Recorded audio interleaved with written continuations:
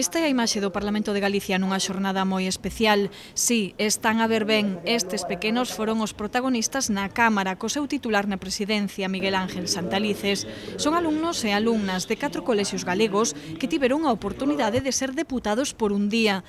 Dende os seus postos no hemiciclo, os estudantes de primaria presentaron as súas propostas, invitando a reflexionar sobre o valor da igualdade. Estamos en el Parlamento y venimos a defender unos compromisos en los cuales hemos desarrollado en clases, en la clase valores y mm, en, venimos a defender a nuestro compañero Pedro, que es un poco diferente a los demás y queremos explicar un poco eh, sus diferencias y luego eh, cómo defenderlas y que no hace falta eh, llamarle raro por hacer cosas diferentes a los demás. Decimos que todos somos Pedro, porque cada un ten alguna diferencia aos demais. Que porque algúns teñan outras costumes ou diferenzas que ou que fagan cousas que ti non fagas non tes por que xudgarlos e non criticalos. Que ten que haber máis igualdade no mundo e intentamos potenciala.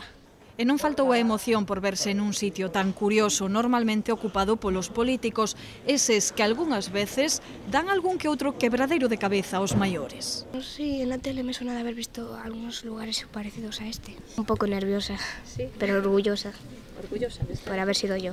Non sei, sé, me sento importante al estar aquí. Sí.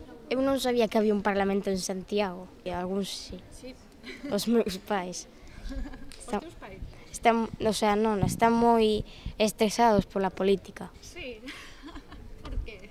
Non sei, non lles gusta as, nova, as novas normas, non, eh, normas da, dos políticos. A iniciativa foi organizada por Aldeas Infantiles SOS, cuxos programas educativos tratan de eliminar a marxinación e as injustizas. E ás veces, xa se sabe, dos máis cativos hai moitas leccións que aprender.